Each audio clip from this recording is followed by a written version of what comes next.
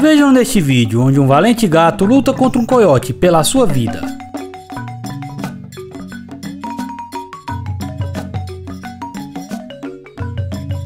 Do tamanho de um cão de porte médio e pesando em torno de 20 quilos, os coiotes são canídeos que vivem na América Central e do Norte.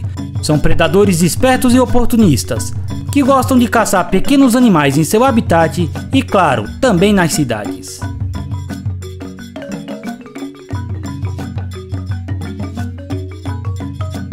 O felino recebe vários ataques, mas sempre ataca de volta.